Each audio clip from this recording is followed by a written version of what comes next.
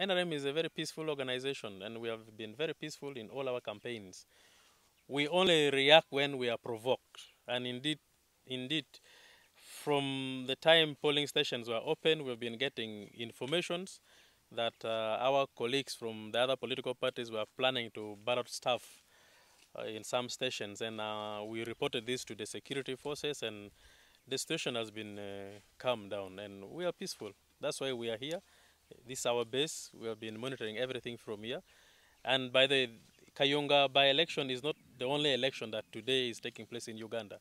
We have close to 700 positions that are, being contested for around the country. So we are monitoring the whole country from here. So Kayunga for say it's not something that we we are worried of at this point. The, the situation has been calm now.